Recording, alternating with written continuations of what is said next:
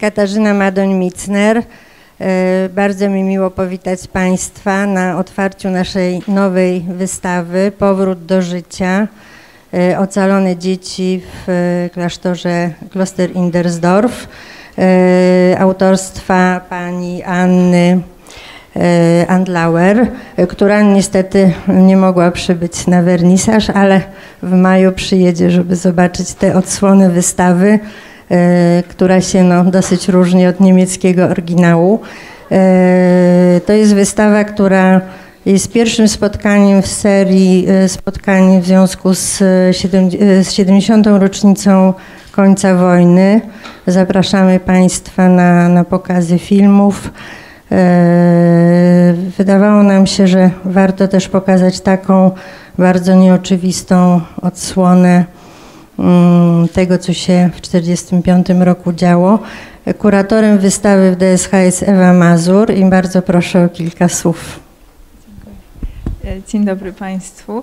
E, Ja chciałam mm, tylko powiedzieć krótko, skąd e, ta wystawa się u nas wzięła.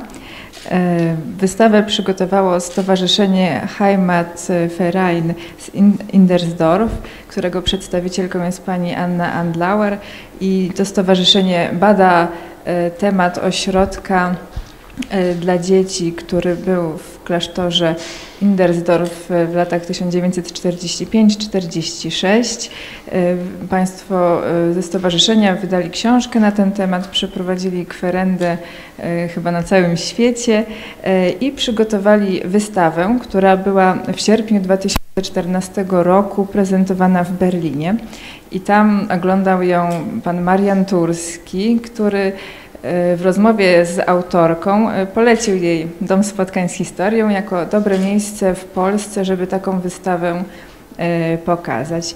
I rzeczywiście pani Anna zgłosiła się do nas, no i efektem naszej współpracy jest ta wystawa, e, która troszkę różni się od oryginału, no przede wszystkim oprawą graficzną, ale też są tutaj uzupełnienia i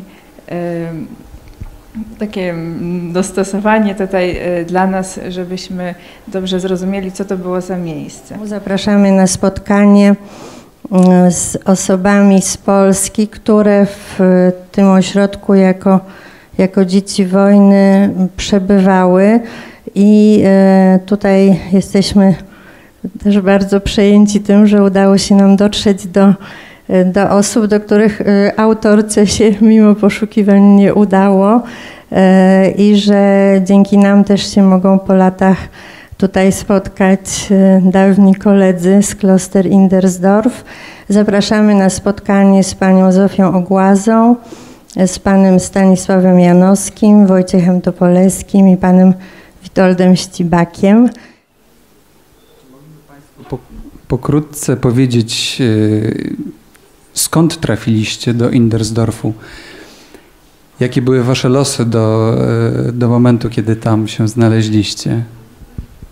No, ja miałem bardzo proste y, sprawę, dlatego że po powstaniu warszawskim y, dostałem się do obozów koncentracyjnych. Nie będę wymieniał jakich. Różne to były w zależności od zbliżającego się frontu, przerzucone były te obozy różne miejsca w głąb Niemiec. No a później po wyzwoleniu, ja 27 kwietnia y, byłem wyzwolony przez armię amerykańską. Y, Pracowałem ostatnie moje miejsce pracy to był Augsburg, komando Dachau y, w fabryce Messerschmitta. Ponieważ front się zbliżał, czego Niemcy zlikwidowali ten obóz i na piechotę pędzili nas y, no, gdzieś tam w głąb Niemiec.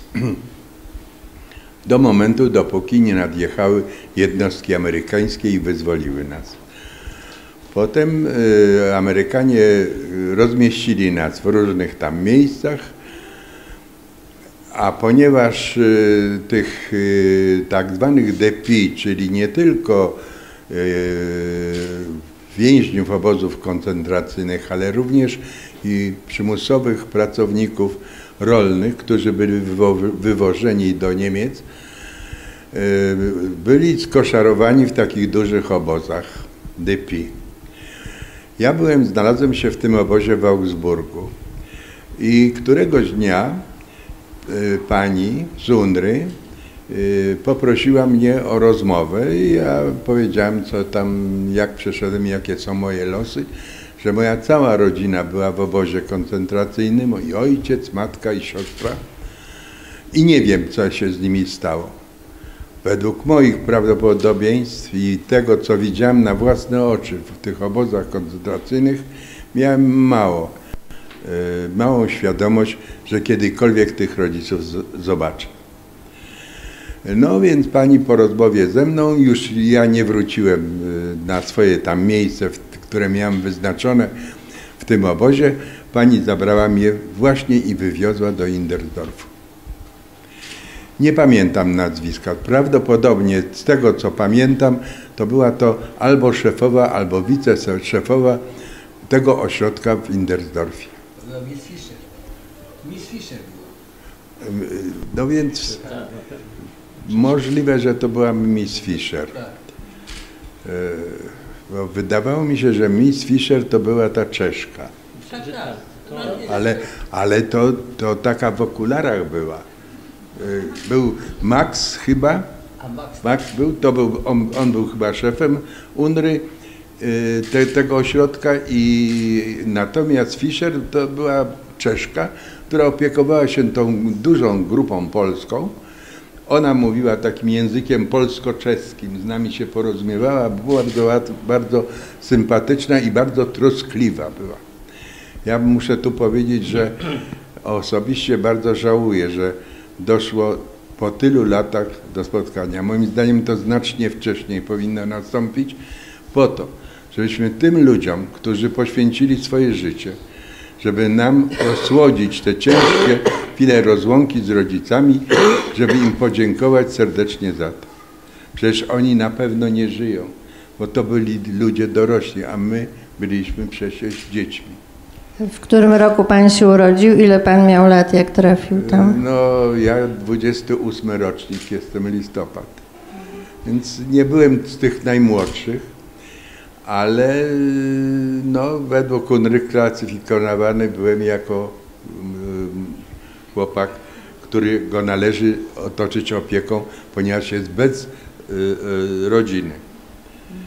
Natomiast w tym filmie zastanawia mnie y, to, że widocznie ten ośrodek był bardzo rozległy i może nie wszystko my znaliśmy. W każdym razie to, co myśmy przeżywali, to zupełnie inaczej to wyglądało. Dzieci żeśmy nie widzieli tych maluchów. Właśnie, tych maluchów żeśmy w ogóle nie widzieli. A bo, bo y, wy byliście już później, a jak ja byłam, byłam wcześniej, to były małe dzieci. Aha, możliwe. Ale, ale co się stało z tymi dziećmi, jak myśmy przyjechali? Tam to, to przecież, przecież No była... myśmy wyjechali do Szwajcarii. Nie, nie, ale nie było kontaktu, nie mieliśmy kontaktu Aha, czasie pobytu. no. Tak, tak, nie mieliśmy. To było tak. Jakie tam grupy były? Była bardzo duża grupa młodzieży, y, chłopców z Polski. Bardzo duża grupa była dziewcząt y, Polki ze Śląska, które były y, przeznaczone przez Niemców na germanizację. I, tak, i w związku z tym zostały odkryty ten obóz tych dziewcząt i sprowadzony do Indersdorfu. Następna grupa, już mniejsza, taka e, też byli chłopcy i dziewczęta, to byli Jugosłowianie. E, Oprócz e, tej grupy, nie wiem, czy trzech czy czterech chłopców było ze Związku Radzieckiego. W każdym razie ma bardzo mała grupa, ja pamiętam. To, słucham? Izraelitów było najwięcej. A w późniejszym czasie do tej grupy, do tych grup, które wymieniłem, y, przyjechała z Polski dosyć liczna grupa y, polskiej młodzieży y, pochodzenia y, żydowskiego. Oni byli bardzo dobrze zorganizowani, mieli swojego takiego przywódcę, mieli i rano, i wieczorem zawsze apel. My byliśmy z nimi w bardzo takiej serdecznej i przyjacielskiej komitywie. Nawet mam zdjęcie taką bardzo sympatyczną e, dziewczyną e, z Polski, Żydówką. Nawet nie wiem z jakiej ona tam e, miejscowości pochodziła. I to był ich taki obóz przejściowy. Oni stamtąd e, emigrowali do Izraela do roboty do kibucu. Mieli pracować w kibucu. A pan powiedział, pan powiedział, że właśnie trafił z obozu i z panem było podobnie. Też pan trafił po obozie do Indersdorfu. E, Ale to nie jest jedyna możliwa historia w tle, bo z kolei państwo trafili e, w inny sposób. Nie byliście w obozie, tylko e, wasze rodziny zostały wywiezione na roboty przymusowe, tak? W przypadku pani Zofii i pana Stanisława. Pani I- Zofio, może Pani powie o Waszych... No ja akurat byłam z bratem i z mamą wywieziona z, w tej chwili to jest Białoruś z Pińska. No Niemcy nas wywieźli do, e, do siebie, do e, Bawarii. Tam moja mama pracowała u gospodarza. No i my też jako dzieci, ja musiałam też tam pomagać i tak dalej. No to był rok 42, a moja mama umarła w 45 w lutym, więc my zostaliśmy tam u tego gospodarza. I była tam Polka, też imieniem Zosia, której moja mama powierzyła, żeby nami się zaopiekowała. Więc jak wojna się skończyła, no Zosia miała też 18 lat, była właśnie koło Monachium w obozie nas zabrała, ale doszła do wniosku, że ona po prostu nie da rady, bo ona jest młoda, gdzie ona, ona chciała wyjechać gdzieś chyba do Ameryki i tak dalej. No i nas w tym sposobem znaleźliśmy się właśnie w Indersdorfie. Pan Stanisław też trafił na roboty przymusowe, ale pan z kolei został zagarnięty e, w łapance, tak? Tak. Warszawskiej, Tak, ulicznej. bo nie mogę mówić ze względu na gardło.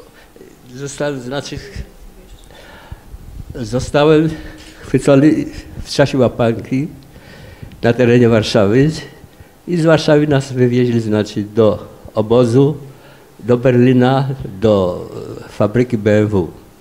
I tam przebywaliśmy, znaczy, do czasu, e, dokąd e, nie doszli Sowieci. W związku z tym nastąpiła ewakuacja na południe do Bawarii. I na teren, w czasie znaczy, tego marszu wyzwolili nas Amerykanie. I dostałem się znaczy, do takiego centrum, gdzie przebywali byli pracownicy przymusowi i tam mnie wyłuskała właśnie ta, e, ta Miss Fisher i przywiozła mnie do Indersdorfu. Pamięta pan to pierwsze spotkanie z Miss Fisher, bo wydaje się, że to taka tylko i wyłącznie pozytywna postać, która No, to była taka bez skazy. e, matka. Tak. Tak. Można? Jeżeli można, to y, cały ten zespół mniej więcej wyglądał tak unrowski w Windersdorfie, jeżeli ja dobrze pamiętam, proszę mnie poprawiać koledzy. Była tak, pani Miss Fisher, czeska, pani Tillman, y, Kanadyjka, też y, wszy- to mówię tyl na razie o tych osobach, które były w mundurach unrowskich, napisem takim tu UNRA. Dalej był y, Francuz, y, też w mundurze, który zajmował się kuchnią i magazynami y, żywnościowymi. Szkot, który zajmował się mm, Magazynem. magazyny ubraniowe.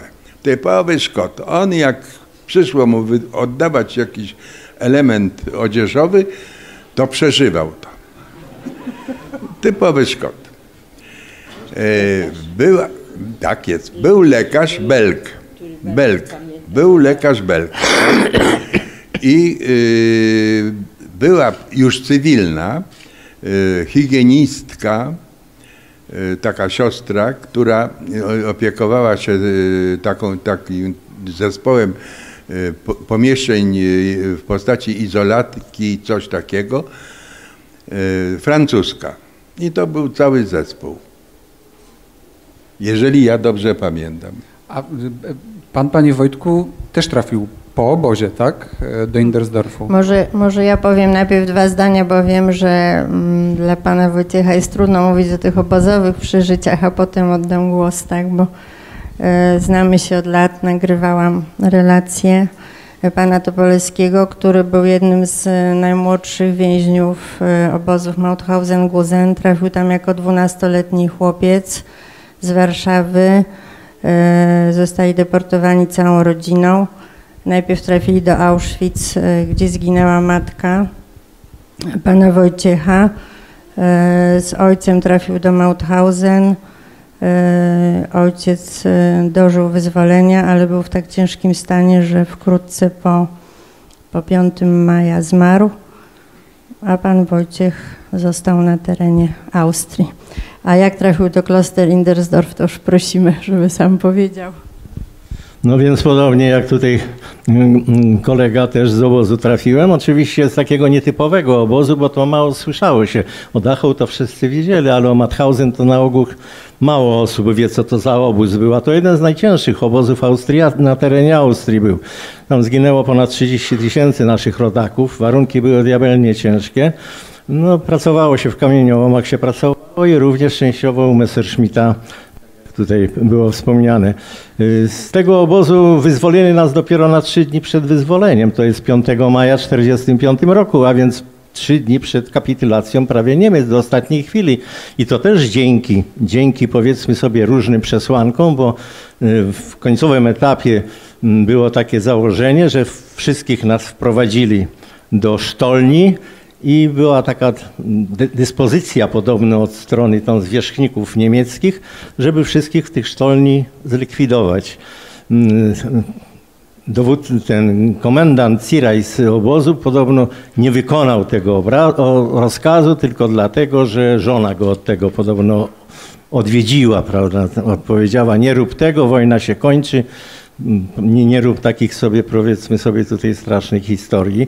No więc nas trzymali prawie cały dzień w tych sztolniach, ale na szczęście nas wy, wypuścili z tych sztolni. Amerykanie nas wyzwolili, ale obóz był w takim stanie, był Guzen 1 i Guzen 2 później, bo ja byłem w Guzen później 1 i, w Guzen, i był Guzen 2. Guzen 2 od razu spalili, bo nie było, w ogóle się nie nadawało do niczego, zaraza i epidemia i tak dalej, a z Guzen 1 wywozili nas jak najszybciej Amerykanie, wywieźli mnie do Indersdorfu. Indersdorf to jest położony prawie na południu za Monachium, gdzieś na, niedaleko, niedaleko jeziora chyba Bodyńskiego, gdzieś tam w tych okolicach chyba.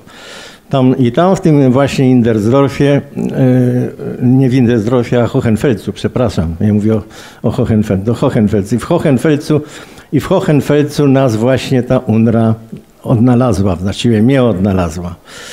No i przywiozła do Indersdorfu wtedy. To było gdzieś, to był chyba czerwiec albo początek, tak, chyba koniec maja albo początek czerwca 45 roku, tak się z tym znalazłem. Aczkolwiek muszę powiedzieć, że od razu, jak mnie przywieziono, trafiłem na dwa, na dwa tygodnie do, mm, do szpitala, do Monachium. Leżałem w szpitalu w Monachium dwa tygodnie i dopiero wtedy trafiłem na, do, do Indersdorfu na, jako stały, stały bywalec tego Indersdorfu. To mniej więcej w skrócie tak. Nie chcę mówić o tym obozie, bo tak jak tutaj pani Kasia powiedziała, przeżycia mam bardzo ciężkie i nie, nie chcę ich tutaj sobie przy, przywoływać powiedzmy w tej chwili. Dziękuję bardzo. No, y, na pewno Państwa ciekawi w końcu, jak to się zakończyło, jeżeli chodzi o tą młodzież polską. Otóż y, w tym Indersdorfie było tak, że opiekowali się nami y, jednostka amerykańska stacjonująca tam w okolicy. Oni bardzo często puszczali, jeżeli pamiętacie, filmy, y, na które chodziliśmy. A któregoś dnia przyjechało dwóch polskich oficerów. E, I ci oficerowie w mundurach polskich rozmawiali z nami i kazali nam pisać listy do rodzin, których my nie bardzo wiedzieliśmy, gdzie mamy pisać, ale podpowiadali, piszcie tam gdzieś może do dalszej jakiejś rodziny czy coś. I rzeczywiście myśmy to wykonali. Po dwóch tygodniach dostaliśmy odpowiedź. Rodziny się znalazły. Nie wiem, czy pamiętacie to. E, no i to później po jakimś czasie to tam ta korespondencja trwa, a któregoś dnia e, dowiedzieliśmy się, że na stacji jest, stoi pociąg polski pociąg wyposażony luksusowo w wagony sypialne z obsadą e, damską w postaci Związku Nauczycielstwa Polskiego z nauczycielkami, które miały się nami opiekować. Tego. Miss Fisher e, z nami do samej granicy, do, samej, do samego Koźla, do Polski pilnowała i zle, z, dała zezwolenie na to, żebyśmy my mogli w tym koźlu pozostać i czekać na y, rodziny, które nas miały odebrać. Samym nie wolno było się oddalać. Nie wiem, nie wiem, czy pamiętasz, kochanie, ale myśmy jechali do Koźla, stanęliśmy na granicy czeskiej i był dylemat powiedzieli, że dalej UNRY nie puszczają, że, my, że przejmują cały transport i był dylemat. Oni nie chci, UNRWA nie chciała się na to zgodzić i czekaliśmy na decyzję, bo taka wersja chodziła tam na zachodzie, że niektóre transporty przejeżdżają tranzytem przez Polskę. W związku z tym była tam taka obawa ze strony opiekunów, że do, do końcowego punktu Polsce muszą doprowadzić ten transport. A pani Zofio, pani też była w tym transporcie, wracała pani do Koźla? Ja, y, nas jako dzieci, y, to wytransportowano do Szwajcarii na pół roku. I ja dopiero po tej Szwajcarii, y, to nie wiem, czy podobno, ja tak wyczytałam, że rząd polski się upomniał o, o sieroty, które zostały y, y, w Niemczech i gdzieś. No i nas przywieźli też do, do Koźla i tam rozdzielono y, te właśnie dzieci, które miały rodziców, to czekały tam, a te, które nie, to do domu dziecka porozdzielano. Tak, tak, do domu dziecka w Katowicach. Ale wróćmy jeszcze na moment do innych. Jeśli można jeszcze, bo ja się troszkę inaczej, in, inne motywy miałem do powrotu do Polski. Mianowicie wiedziałem z góry, że rodziców nie ma, bo zginęli, także mnie, perspektywa moja była raczej taka, że tam jak najdłużej zostać na zachodzie, bo było jakieś zaplecze. Ale trafiłem na, do jednostki wojskowej polskiej w Kassel. E, była to taka jednostka wartownicza, można powiedzieć, przy wojsku amerykańskim. Dlaczego tam trafiłem? Trafiłem to na zaproszenie kolegów, obozowiczów na dwa tygodnie, po prostu za zgodą władz Indersdorfu. Na dwa tygodnie wyjechałem z Indersdorfu do tego Kassel i w tym Kassel było dużo oficerów akowskich. I oni mnie troszkę namówili do tego powrotu. Mówią tak, ty jesteś człowiek młody, a tam ta fama, fama chodziła po taka po, po tych wojskowych szczególnie, że, że, że nie wiadomo, czy wracać, czy nie wracać. No ty jesteś młody, tobie nic nie zrobią, weźmiesz od nas parę listów, do, przyjedziesz do Polski, zapakujesz swoje koperty własne, gdzie będziesz tam mieszkał i wyślesz pod wskazany adres. Pamiętam, do Krakowa miałem te listy wszystkie trafić, widocznie jakiś tam punkt zborny był czy coś takiego. I to mnie zmobilizowało do tego, że powróciłem po prostu do tej Polski, bo tak perspektywę raczej większą bym miał zostając na zachodzie, niż tutaj do, wracając do nikogo i do nikogo i w nic, prawda. No ale wróciłem i te listy wysłałem. Okazało się później, że ta mm, melina, czy, czy ten punkt informacyjny był chyba spalony, bo później zaczęły się małe represje z tego tytułu robić. Akurat nie do mnie, tylko do właścicieli, u których ja mieszkałem. Bo pisałem nie na swój adres, tylko pisałem na, bo nie miałem tego adresu, tylko na adres, gdzie, gdzie się zatrzymałem. Więc tych, tych właścicieli tego mieszkania wyrzucili z tego mieszkania gdzieś do PGR-u bodajże jako represja tego. To taka historia. A pan, panie Stanisławie, dlaczego zdecydował się wrócić? Jak to wyglądało pana sytuacja rodzinna i pana plany? Ja nie mogę dużo mówić, ale tak w skrócie. Czekałem na wiadomość z Polski. Między innymi y, moja mama poszukiwała mnie przez Czerwony Krzyż i dostałem właśnie wiadomość, że mama żyje, synu wracaj. I w 1947 roku wróciłem do kraju. Chociaż miał pan inne plany. Tak, no. Ale później się zrealizowały. Mogę tylko powiedzieć, że pan marzył o wyjeździe do Ameryki. e, państwo widzieliście tu takie zdjęcia, z, e, takie prawie, e, mm, no, powiedziałbym policyjne. Z, tak, jak, jak przestępcy z nazwiskiem. Z tak. Więc Unia robiła nam takie zdjęcia i te zdjęcia miały się ukazać. Podobno się nawet ukazały e, w, w czasopismach zagranicznych na Zachodzie, w Ameryce i w Szwajcarii i tego. I to miało być e, jak gdyby zachętą do występowania o adopcję tych osieroconych dzieci w Windersdorfie. Tak to wyglądało z, z relacji UNRY. A y, widać, y, że wasz pobyt tam był bardzo dobrze udokumentowany, co widać szczególnie na wystawie, bo są zdjęcia bardzo dobrej jakości, nie tylko te zdjęcia z tabliczkami, i też tutaj były fragmenty filmów archiwalnych. Y, Czy pamiętacie właśnie te okoliczności, w których te zdjęcia powstawały i czy Zdjęcia w zasadzie to, my, to tutaj kolega robił zdjęcia. I te zdjęcia to tylko były nasze wewnętrzne. UNRWA nie robiła Ale tak. oni Robili Amerykanie, ja mam mnóstwo zdjęć, i wy te zdjęcia właśnie ja- niektórzy z was teraz- przywieźli, Ja, tak? to ja, ja nie widziałem które ja zdjęć. dopiero teraz odzyskałam, jak pani Andlauer y, zajęła się tą Nie, sprawą, bo ja ja nie- ich nie miałam. Za na temat tych Tak. zdjęć. Proszę Państwa, mm, nie udawajmy. mm, y, Wystawa, jaka tu przyjechała z, od strony niemieckiej, y, była na tyle szczątkowa, jeśli chodzi o naszą grupę polską, że praktycznie nic na niej nie było.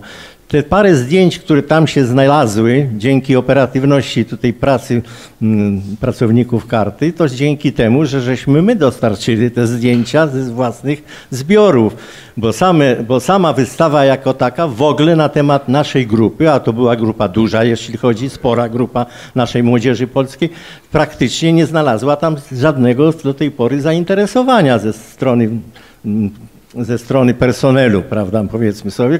Wyrazem tego jest chociażby to, że na tych zdjęciach są parę zdjęć ogólnikowych a o naszej grupie konkretnej, gdzie tutaj kolega był drużynowym, inni byli, prawda, i gdzie drużyna cała stała, gdzie były występy artystyczne, żeśmy robili w Deutsche Muzeum dla Polonii wy- występy artystyczne, przecież piękne, y, jako, jako, jako młodzież.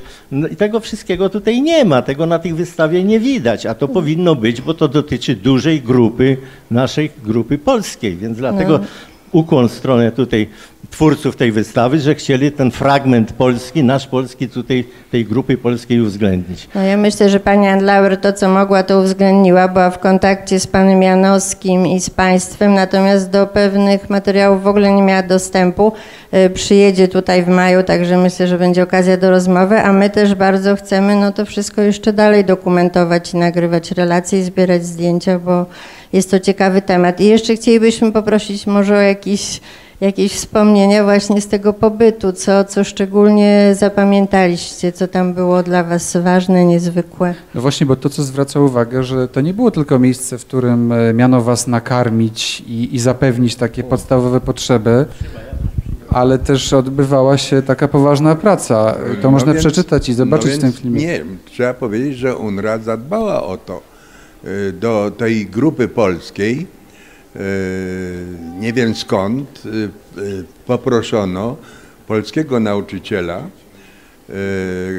który był taki wademek, on język polski i, i, mm, i matematyka i geografia, historia prowadził z młodzieżą. Oprócz tego był drugi nauczyciel.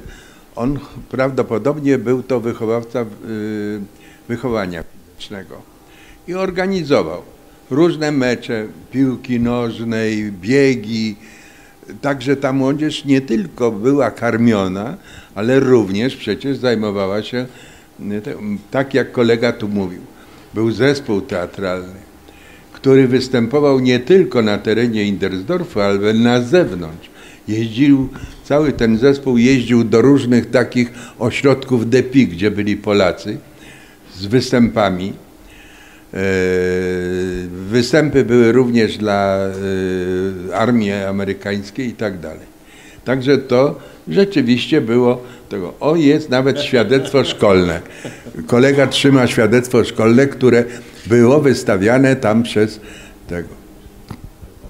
Pan pamięta tego nauczyciela, tak? No jakżeż, oczywiście. Nawet, ale muszę powiedzieć, że nawet byli bardzo, bardzo tacy sprawni ci nauczyciele nasi. To nie była jakaś zbieraninka taka pierwsza, lepsza, tylko byli ludzie dość wysoko postawieni, jeśli chodzi o szkolnictwo, o pedagogikę i tak dalej, i tak dalej. Ja sobie tu pozwoliłem przywieźć, bo nawet to, te, też jakiś dokument tutaj na wystawie można by było ewentualnie. y, Centrala Szkolnictwa Polskiego w Niemczech, Szkoła Powszechna w polskim obozie w Indersdorf. Świadectwo szkolne ukończenia klasy siódmej y, i ze stopniami, proszę bardzo. Proszę sobie tu wyobrazić. Sprawowanie, sprawowanie bardzo dobre. No proszę bardzo. Al, albo, albo, albo, albo weźmy tutaj dalej. Opuścił, opuścił dni zero. Nieusprawiedliwionych zero. No zresztą tam nie było jak na waka- nie, było, nie było jak na te waka- na, na jakie, jakie były przedmioty? Może pan No proszę bardzo, proszę bardzo, już czytam. Y, Sprawowanie religia. No, nie byle Kto co. prowadził? Kto prowadził religię? Ja nawet nie pamiętam, ksiądz jakiś musiał być, albo pedał jakiś tam ktoś prowadził. Język polski był, y, historia była, geografia była, nauka o przyrodzie, ary, y, arytmetyka z geometrią, rysunki, prace praktyczne, śpiew i ćwiczenia cielesne. No, I z każdego mam stopień. No tam, proszę? Zakończenie roku, bo to tylko jedna klasa była, bo już później się nie dało. To zakończenie było w czerwcu 46. E, Pani Zofia, pani też chodziła do... do, do nie. To była bardzo skomplikowana sprawa, dlatego że przecież tej młodzieży, ta młodzież była w różnych wieku, w różnym stopniu zaawansowania pod względem y, klas, wobec czego ci naprawdę nauczyciele musieli być uniwersalni. Prawda? Bo od tam klasy, załóżmy piątej do, do klasy siódmej prowadzili zajęcia. Klasy były normalne. A skąd w ogóle w tym Indersdorfie te dzieci się znalazły? Otóż sam Indersdorf był przygotowany do, na przyjęcie młodzieży, bo były łóżka młodzieżowe, były szafki młodzieżowe. A skąd też to się wzięło? To był ośrodek szkoleniowy Hitlerjungen w Indersdorfie. Tam szkolili młodzież niemiecką. No i UNRWA to przejęła i zorganizowała właśnie ten ośrodek. A jak to się stało, że pan został drużynowym, rozumiem, polskiej A, to drużyny ja- to ja- harcerskiej? O, To, to tak, to była drużyna harcerska. To może pokażemy kilka zdjęć, bo są. Były apele, yy, yy, szkolenie było harcerskie. UNRWA zorganizowała na naszą prośbę, zorganizowała nam mundurki. Myśmy byli umundurowani. Także To są zdjęcia z pana albumu, tak? Dobrze, proszę, tak. no ale tam jest, tam jest zdjęcie, które, które nie zostało pokazane, a jest... Tutaj A je, jest drużyna, tak? no to tak, ale tu jest zdjęcie takie w szeregu, jak stoimy, tu z drużynowym na czele, ale to chyba nie ma tego zdjęcia. O, tu stoi, stoi też. O, o, drużynowy stoi koło, pro- koło, koło profesora. A tutaj mam nawet e, e, legitymacja mi się jeszcze uchowała. Proszę bardzo, Związek Harcerstwa Polskiego w Niemczech, legitymacja, e, tam numer jakiś 25 i tak dalej, i tak. Indersdorf, tylko daty nie mogę tu odczytać. Zobacz, które, bo masz lepsze oczy, młodszy jesteś. to jest numer Nie, nie, datę, datę. Indersdorf, którego to było? yy, 46. Pierwszy, szósty, 46. No, proszę bardzo. I, i, i- myśmy jeździli, pamiętam wtedy, na okolicznych, do okoliczne lasy i żeśmy drzewo rąbali i szałasy się uczyli bu- budować. Zawzięcie. Takie zajęcia Także prowadzili. ta młodzież miała zajęcie. To nie było tak, że y, tam E, Jeszcze chciałam Pana zapytać, bo podobno była tam też grupa dzieci, młodzieży ze Związku Radzieckiego, tak? Co, jakie były ich losy? Co się z nimi działo? Proszę Panią, były w zasadzie takie następujące wizyty. Amerykanie bardzo często puszczali nam filmy. Któregoś dnia przyjechali oficerowie y, ze Związku Radzieckiego. Y, Wszystkich spędzili do tej sali teatralno-widowiskowej, kinowej, w której był puszczony film Parada y, Zwycięstwa. Pamiętacie to? Parada Zwycięstwa na Placu Czerwonym. To myśmy oglądali w kolorze, e, dźwiękowy film. E, No i oni po prostu, to, to tych czterech czy tam pięciu, ja nie pamiętam ilu ich było, ale w razie to była nieduża grupa. Oni byli zupełnie tak oddzieleni, oni się jakoś nie, nie bardzo kontaktowali z nami. Byli z robót przymusowych pewnie, tak? Prawdopodobnie, tak się domyślam. I oni, i jak ich chcieli zabrać, to oni, muszę powiedzieć to, rzewnie płakali. Nie chcieli wracać. Nie chcieli wracać. Mimo, że byli to młodzi chłopcy, to wiedzieli, co ich tam czeka. Że oni tam nie będą mieli takich y, zasobów żywnościowych, odzieżowych, jakie mieli w Indersdorfie. Tak ja się domyślam, dlaczego oni nie chcieli wracać. Wycieczki do Innsbrucku mieliśmy w zimowym, do miasteczka zimowego, żeśmy też tam robili. Pani Zofio, a pani była e, z bratem, to, e, to też taka sytuacja, nie wiem, czy, czy to się tam często zdarzało, czy nie zdarzało się często, ale w tym gronie jest pani jedyną osobą, która była razem z rodzeństwem i chciałem zapytać, Tak. czy, e, czy to było tak, że, że trzymaliście się z bratem, Tak, tak, mogliście tak, tak. być cały czas ze sobą, jak to było? Tak. No ja akurat Młodszym byłam w grupie takich no też dziesięciolatków i trochę mniejszych dzieci. I To były dzieci właściwie i starszych trochę, wziętych ze Śląska, ze szkoły, gdzie miały też prosto z klasy ich, bo nawet kilka koleżanek w dalszym ciągu. I to byliśmy razem z nimi. I one też wróciły do domu, po nich przyjechali rodzice, bo się znaleźli, także no.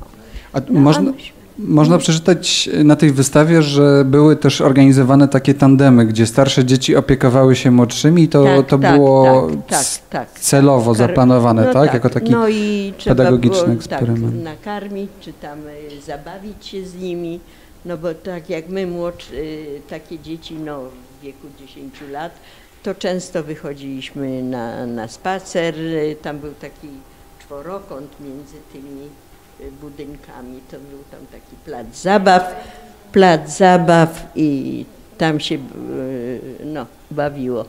Trochę były lekcje też w szkole, ale to były tylko matematyka i polski. A jak y, te wszystkie dzieci się ze sobą porozumiewały? Bo wydaje się, że to taka trochę ja wieża nie Babel. wiem, ja nie pamię- ja wiem, że ja mówiłam po polsku. No, nie. Esperanto takie. Dziecięce Esperanto. tak. Tak, tak, tak. W każdym bądź razie wszyscy się porozumiewali, nie było, że... Dla mnie, dla mnie jest ciekawy ten wątek e, na wystawie też, e, nie wiem czy to pamiętacie, e, jakby właśnie wyjścia poza ośrodek i tych kontaktów z ludnością niemiecką. Czy, czy pamiętacie takie sytuacje, tak? I co to dla was znaczyło? No ja nie, ja nie pamiętam. Jak to chłopcy? Jak wyszliśmy na spacer kiedyś na zewnątrz, zobaczyliśmy sad pełen jabłek. No więc jak to chłopcy, potrząsnęliśmy dobrze drzewem, sporo tych jabłek spadło, no i zabraliśmy te jabłka, wróciliśmy do klasztoru. Po jakimś czasie przychodzi Miss Fischer i mówi, wiecie co? Ta Czeszka, Niemiec przyszedł na skargę na was. A co ja mu powiedziałem? Ty wiesz, co to jest? To są dzieci, które są sierotami, którym zabraliście rodziców. natychmiast masz przynieść furę jabłek, bo będziemy dalej rozdawać te jabłka dzieciom. Tak się to skończyło. Ja cię uzupełnię, bo ty może nie ma śmiałości tego powiedzieć, ale tu przed tym towarzystwem możemy powiedzieć. Otóż Bałorzy z tych jabłuszek właśnie, o których mówisz, robili tak zwany moszcz. A, myśmy dostawali dużo od czasu do czasu papierosy, z którymi nie było co robić, bośmy nie palili. No i była wymiana tych papierosków za ten moszcz u tego. Ale pewnego razu, jak byliśmy u tego Bałora, to pytamy, panie, powiedz pan nam gospodarzu, z czego pan właściwie ten moszcz robi? A on mówi, chodźcie, to wam pokażę. I pokazuje nam kupę właśnie obierek po kartoflach. O, po kartoflach, kupę obierek po kartoflach. O, to jest tego ten moszcz, który ja wam sprzedaję. Ale to było smaczne dosyć wtedy.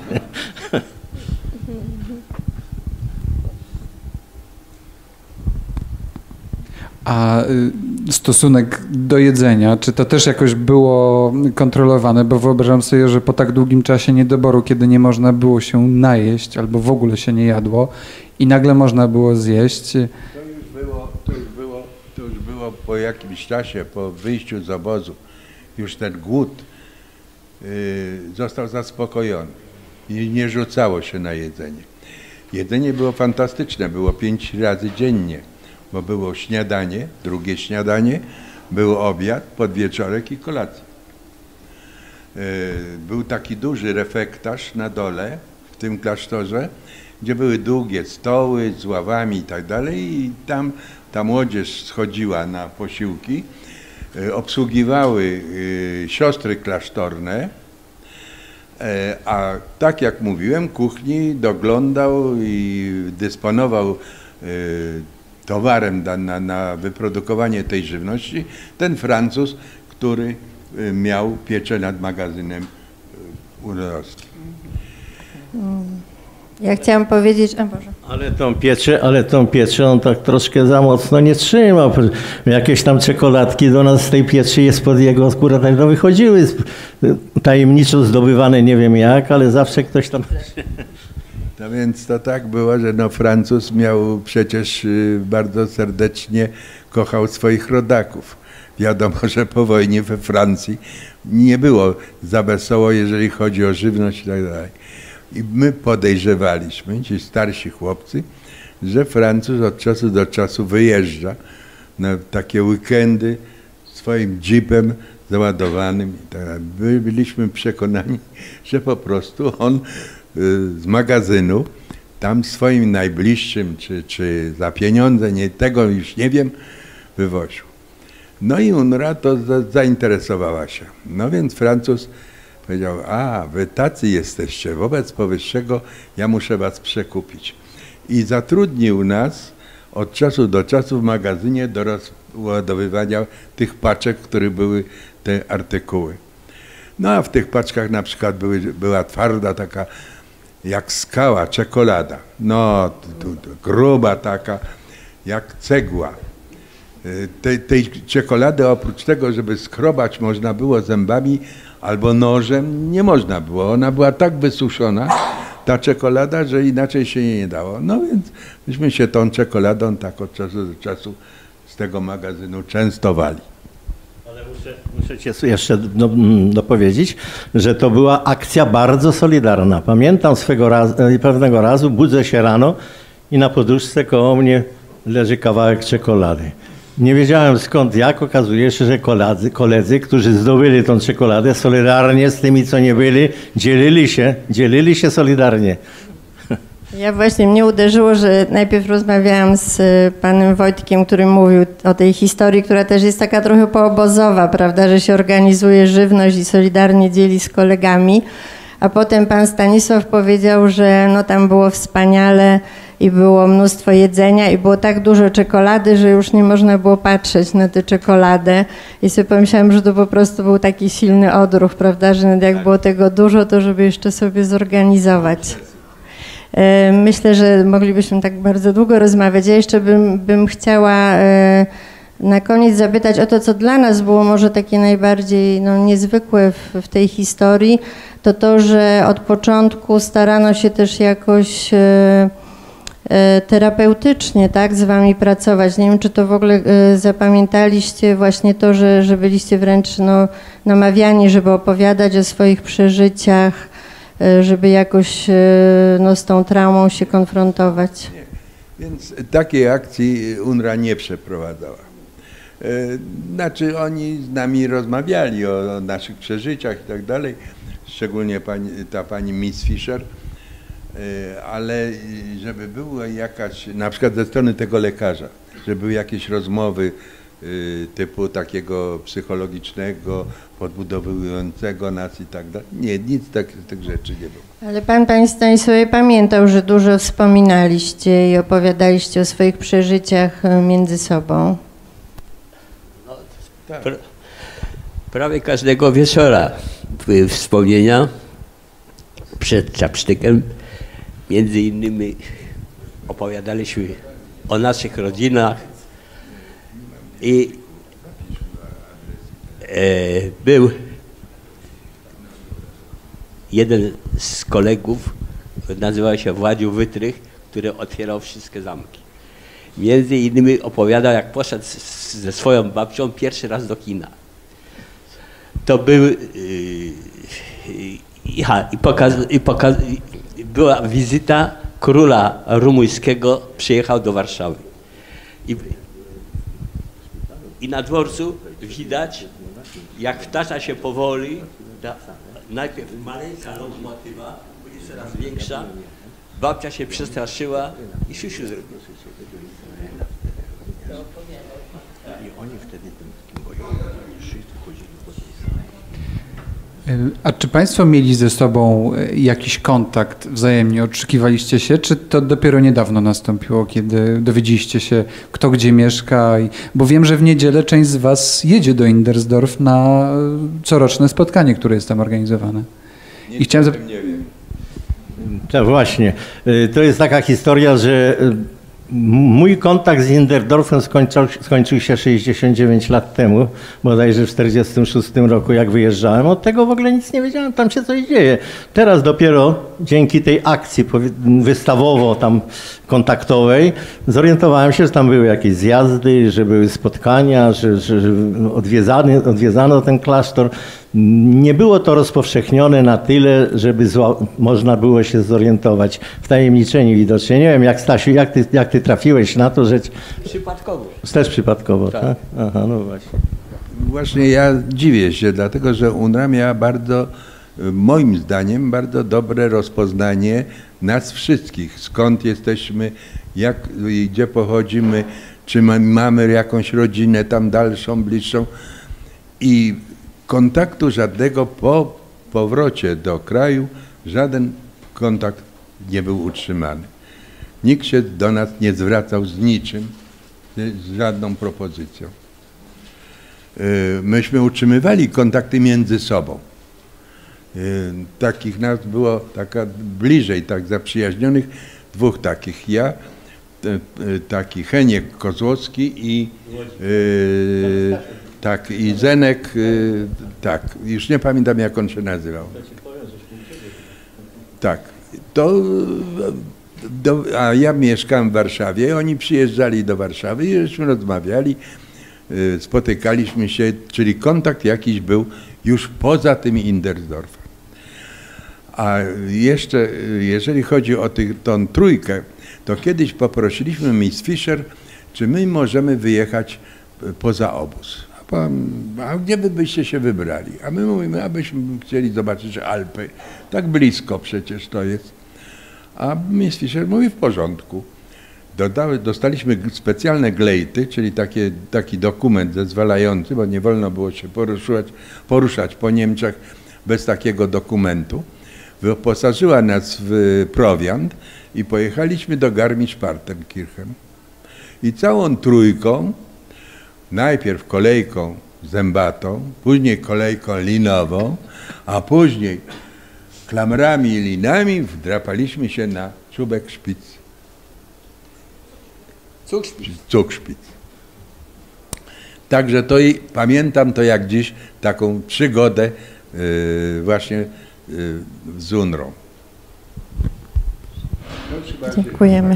Dziękujemy bardzo. Dziękujemy. Zapraszamy serdecznie Chwileczkę, chwileczkę, jeśli, jeśli na można. wystawę. Jeśli można, jeśli można, ja chciałem tu w imieniu nas tutaj zebranych, tych, tych resztek Indendorfów, podziękować serdecznie organizatorom za tą wystawę i, i, i oczywiście za to, że się ta wystawa troszeczkę powiększyła, co nieco się powiększyła o nasz, o nasz okres pobytu. Dlatego pozwólcie, że w imieniu tutaj naszych złożymy na ręce, złożymy na ręce organizatorów, że pamiętali o nas, również o naszej grupie, o naszej grupie. Dziękuję bardzo.